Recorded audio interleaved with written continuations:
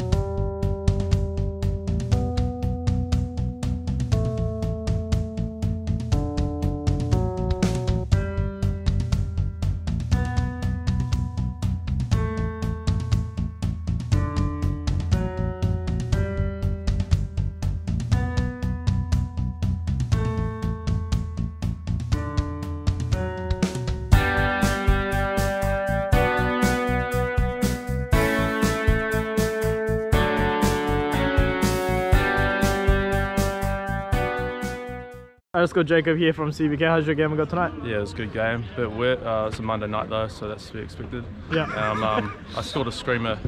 Nice. cool.